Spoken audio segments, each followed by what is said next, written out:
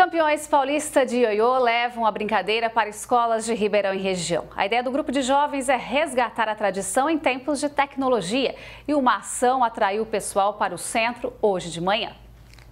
A origem do brinquedo é antiga e até mesmo um mistério. Mas a ideia deste grupo, que leva o ioiô a sério, é não deixar a tradição ser esquecida mesmo em tempos de acesso fácil à tecnologia. Ah, eles se interessam muito, né? Chega na escola, vê um brinquedo um pouquinho diferente, né? Que hoje para eles é novidade e ajuda muito na coordenação, né? O resgate desse brinquedo, então é muito legal aí as escolas, fica tudo fascinado. Raro a gente ver isso aqui, ainda mais demonstrando qualidade também dos meninos, né?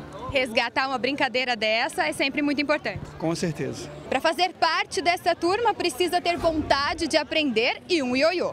As oficinas vêm acontecendo nas manhãs de sábado aqui no centro de Ribeirão Preto, bem próximo ao Teatro Pedro II e com um time campeão. Precisa ter algum tipo de dom ou todo mundo pode aprender?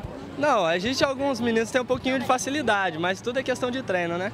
O que treina vai longe, né? Aprende fácil. Bom, aqui no Brasil, o ioiô ainda não é considerado um esporte, fora do Brasil já é. Então a gente está tentando resgatar o ioiô, que é o brinquedo tão antigo. Eles também fazem parte do projeto que atua na cidade e na região, visitando escolas para promover a brincadeira entre crianças e jovens tudo com a iniciativa e o recurso próprio. É um brinquedo acessível, né? Não é um brinquedo tão caro que nem um videogame, um tablet. Então é um brinquedo barato que toda criança pode adquirir. Que eles veem vocês como uma referência. Isso, quando a gente vai nas escolas, principalmente os menores, gostam muito. Thaís Mantoani para o Jornal da Clube.